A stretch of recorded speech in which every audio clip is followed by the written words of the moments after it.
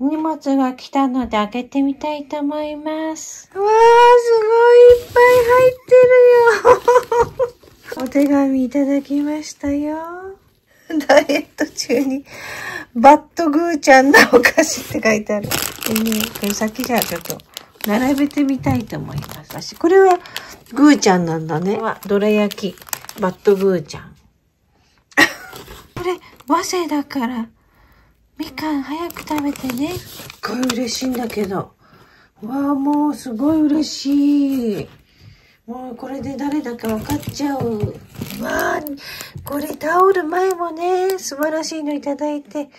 ああ、ありがとうございます。嬉しい。今治タオルって書いてあるよ。なになにこれ芋、芋玉セット。大好きな、あ、お好きな大きさに切って煮込むだけ。お家にキノコ類あったら付け足してね。ええー、いいね。ありがとうございます。すごい。これ、ほら、ポンジュース。これいい。これは何？これ、見たことないけど、え、ポンジュースなの？コク出し製法、みかん。うわーなんか、ち見たことない。えー、美味しそう。これはほら、例の。ね、美味しかった、これ。ほんと。ありがとうございます。ありがとう。レモンレモンさん。ありがとうございます。いつもこんな風にみかんの、お家のね、お家みかん農家だから、レモンレモンさん。わあ、四国から。ほんと嬉しいなあ、これ、読んでなかった。ごめんなさい。読ませていただきます。てこさん、こんにちは。毎回ライブ、おつです。お疲れ様の意味。今朝は、愛媛も寒かった。風邪ひかないようにあったかくしてお過ごしください。おみかん来たので少しですが食べてください。家用みかんなので、大きさと見た目が不細工ですが甘いです。昨年ほど甘くないのですがって。あ、そうなんですか。あら、あの、やっぱり味も毎年少し変化するんですかね。ええあと、ポン吉スパーリング見つけたので、ちょっと本家ポン吉ジュース2種類、2本飲んでみてください。どっちが好きかな？芋炊きセットは昔松山で食べたことがあると言っていた煮物かな？と思って送りました。具材足りなければ練り物とか足して食べてみてください。あとはいろいろ詰めさせてもらいました。いつも笑顔が可愛いでこさん、元気をありがとう。あと早く会いたいです。あら、ありがとう。私も会いたい。パパさんのお酒忘れてた。PS、フェニミアちゃん、ラルちゃんのものがなくてごめんなさい。次回楽しみにしててねって。あら、ありがとうございます。お気遣い、本当に。お気持ちだけでも十分、本当ありがたい、本当に。ありがとうございました。嬉しいね。それじゃあねどうもいただきました。ありがとうございます。レモンレモンさん。ありがとう。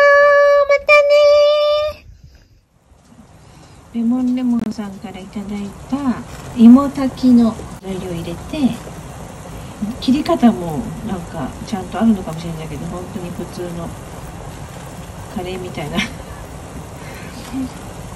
綺麗には切ってませんけれどちょっときのこを足してみました。煮てみますね。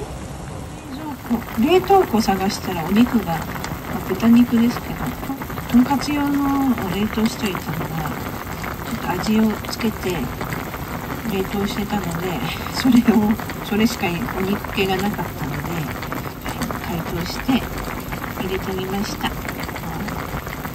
ネットで見たらお肉入ってたのでね入れないところもあるかもしれませんけどと入れてみましたよ。昔ねソフトボールの全国大会で東京都代表で出たことがあるんですけどその時に愛媛があの全国大会の場所で大会している途中横でね炊き出しが出て白い割烹着着たお母さんたちがすごい美味しいお芋のあのスープを作ってくださってその話をしたことがあるんですけどこれじゃないかなって、えー、レモレモさんがね送ってくださいました、もう30年 30年以上前の話ですけどね。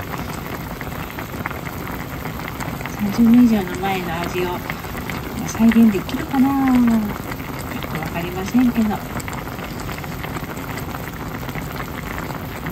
りがとうございます。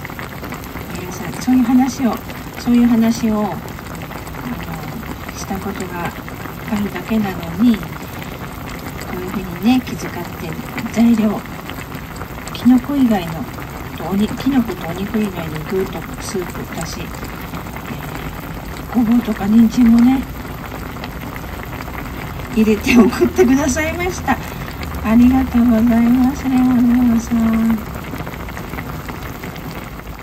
はいできました。美味しそう。今日のメニューは芋に芋だし？芋炊きだし。それとおにぎりと外のわかめのおにぎりとナスの漬物です。簡単。いただきます。